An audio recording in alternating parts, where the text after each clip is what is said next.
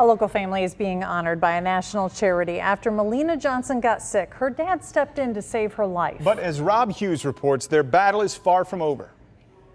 I had to go to the hospital most every day and stay there. Melina Johnson's kidneys failed after she got sick five years ago. She was on dialysis for almost a year. I was always super tired and also not very hungry. Like, I didn't have an appetite really. Melina's dad, Jamie, was blessed and honored to donate his kidney. You would lay down your life for your child. But I feel stronger now and I'm happy I overcame it and it was a good experience.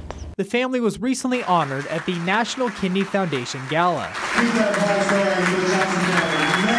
Melina's mom, Tamra, shared their emotional story. We're so grateful for every new normal and new healthy day that we have. I just am so thankful that we're not in the hospital. But their journey isn't over. Melina will need another kidney down the road. We just keep praying that her kidney stays strong and healthy and that we can get more years out of it than what they expect. Rob Hughes, KMBC 9 News. Now, the Johnson family advocates for living organ donation. There's currently a shortage of kidney donors. Samsung is also getting ready to come out with a new offering. The company is working on making a